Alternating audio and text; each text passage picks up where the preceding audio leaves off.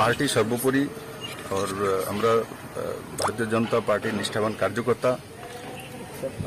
তৎকালীন অধ্যক্ষ অমিত ভাই শাহজিনী আমাকে প্রদেশ সভাপতি হিসাবে নিযুক্ত করেছিলেন। তারপর থেকে কাজ করা শুরু করেছি ওনার মার্গদর্শনে, মাননীয় প্রধানমন্ত্রীজির মার্গদর্শনে।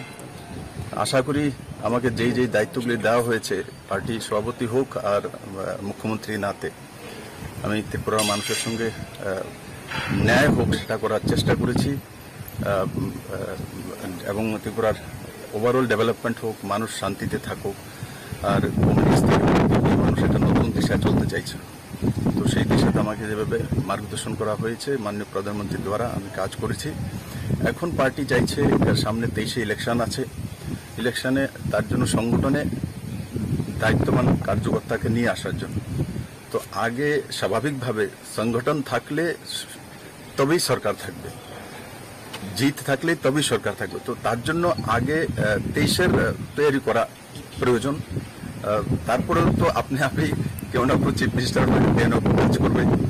আগে সরকার আনতে হবে, যেটা আপনারা চাইছেন যে লম্বা সময় সরকার রাখা। লম্বা সময় সরকার রাখার জন্য আমার মতো কার্যকর্তার সংগঠনে কাজ করলে নিশ্চিত। সংগঠন লাভান্বিত।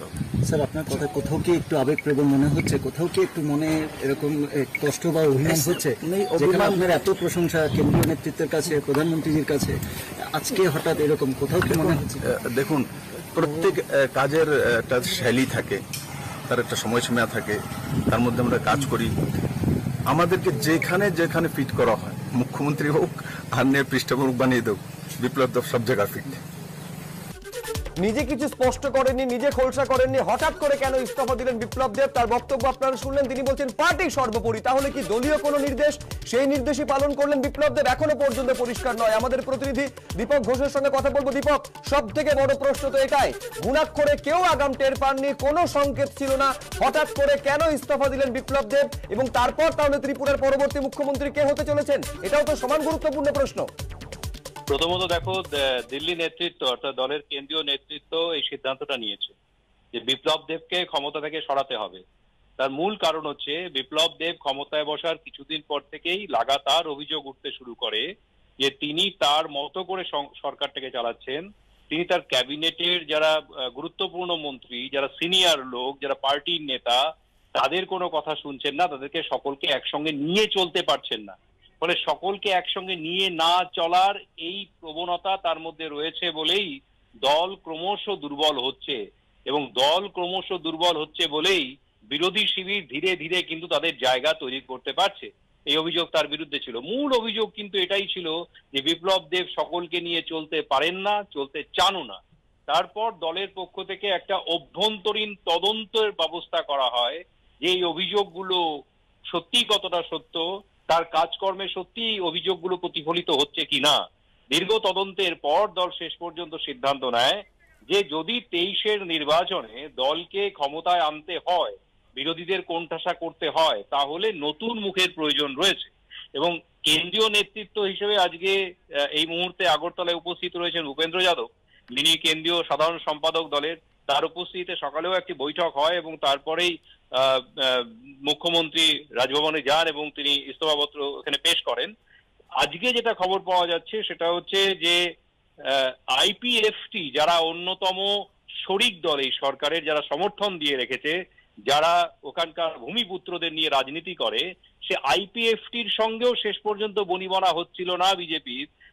তার অভিযোগের আঙুল উঠছিল মুখ্যমন্ত্রীর দিকে। এবং তার নেতৃত্বে এনসি দেববর্মা তার তাকে রেখে তার যে বিরুদ্ধ গোষ্ঠী তারা দলটাকে ভেঙে দেওয়ার চেষ্টা করছিলেন। এই মুহূর্তে তারও একটা চাপ তৈরি হয়েছিল বিজেপির ওপরে। এখন তারা বলছেন যে এই মুহূর্তে তিনটে মুখকে নিয়ে আলোচনা চলছে ত্রিপুরার রাজনীতিতে। একটা হচ্ছে তেইশের নির্বাচনে কোনো ভূমিপুত্রকে সামনে রেখে লড়াই করা যায় কিনা দুই শিক্ষিত পরিচ্ছন্ন ভাবমূর্তির কোনো মানুষকে সামনে রেখে লড়াই করা যায় কিনা আরেকজন, আরেকজনকে নিয়ে ভাবনা চিন্তা করা হচ্ছে, যিনি কাজের মানুষ হিসেবে ইতিমধ্যে নাম কুড়িয়েছেন। তার মধ্যে রয়েছেন, এই তিনজনের মধ্যে রয়েছেন অতুল দেব বর্মা যিনি ভূমিপুত্র হিসেবে পরিচিত, তিনি কৃষ্ণপুর বিধানসভার বিধায়ক। দ্বিতীয় নাম নিয়ে যেটা আলোচনা হচ্ছে, তিনি পর্যটন এবং কৃষি মন্ত্রী রাজ্যের, তিনি প্রাণজিৎ সিংহ রায়।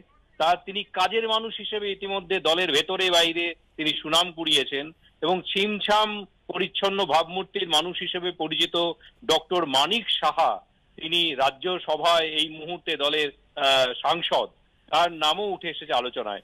কেন্দ্রীয় নেতৃত্ব শেষ পর্যন্ত সিদ্ধান্ত নেবেন তারা কাকে বাজবেন, কিন্তু এই মুহূর্তে বলতে পারো ত্রিপুরা রাজনীতিতে বিজেপির অভ্যন্তরে এই তিনটে নাম ঘোরাফেরা করছে অতুল দেব বর্মা, যিনি বিধায়ক কৃষ্ণপুর বিধানসভা কেন্দ্রের, প্রাণজিৎ সিংহ রায়, যিনি পর্যটন এবং কৃষিমন্ত্রী এবং ডক্টর মানিক সাহা যিনি রাজ্যসভা এই মুহূর্তে ত্রিপুরার এম সাংসদ।